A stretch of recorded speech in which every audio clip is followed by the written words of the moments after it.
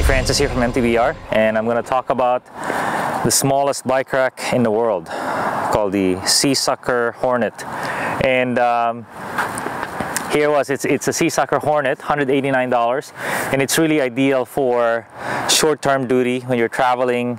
Uh, you got to rent a car and you want to put your bike on on your on a car that's not yours. But the it's not for all cars. It's really just for hatchbacks, SUVs, and vans. You know, um, uh, vehicles with with uh, a, a, back window like this, because the bike's gonna hang uh, this way, uh, and it can't be put on the roof. So the um, the concept behind the Seasucker bike rack is these suckers right here. These, I think they're a marine marine company, and they've developed this these uh, uh, these sucker holders, you know, much like your your bathroom uh, fixtures to hang your um, your soap and whatnot. And they have a pump, so it's a little more. It's industrial strength. It's got a pump, so you could really build up pressure in there, as opposed to just pressing it. Sucks air here, and um, it holds 140 pounds each of pulling pressure. So it's it's very strong as long as it has a suction. So the way to do it is you find the location where your handlebars are going to be. You press on it. First you clean it and that's important. Um, I did this once without cleaning the glass surface, the dust and all that will break the seal. After an hour, the thing fell off. That was no good. Um, and you will know when it's losing suction because some some of this orange will show. Orange means there's not enough pressure in there and you have to uh, either pump it up or clean it and fix your seal. So I'm not really gonna clean it right now, but I'm just gonna place it, press a little bit of pressure, and the sucking is really, the pumping is really what's gonna press it down. So there, once it doesn't come up anymore, means you're on. It means you gotta um, pretty solid.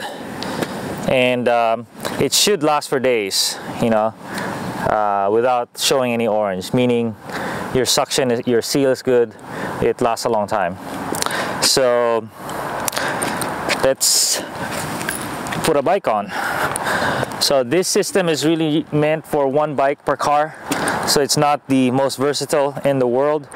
But as you can see over here um, I can put one inside and um, I can put uh, another bike outside using this system and it works well. So you just mount it, you just rest rest the bars on it like that. Rest the seat on the back. Close it. So these pins are special because they they have a fail safe, they have a lock.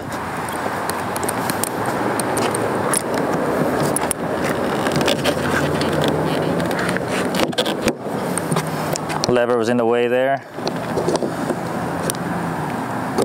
And there it's it's it's done ready to go ready to hit the freeway. They subscribe they caution you to uh, not have more than a 45 pound bike not go more than 75 miles an hour. And um, and that's it. It just the seat just rests here. So hopefully you don't have a, a, very rough seat that I can, very hard seat that could scratch your car. It can lift if you hit a huge bump, if you do some jumps with your car, but so you don't want to do that. But it is solid. And what they do to give you an extra sense of security or security blanket is they give you a little cable here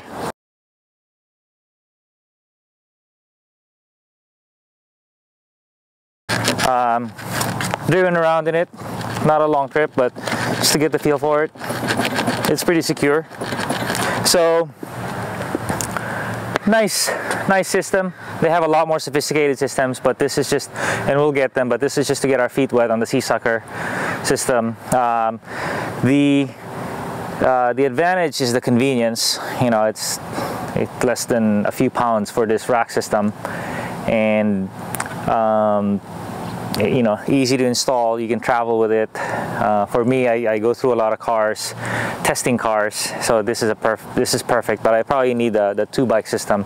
The disadvantage is only one bike system um, and since it only works on SUVs and, and vans and hatchbacks you can actually put the bike inside so it's kind of a rare occurrence where you need one inside and one outside, or you have passengers, two people.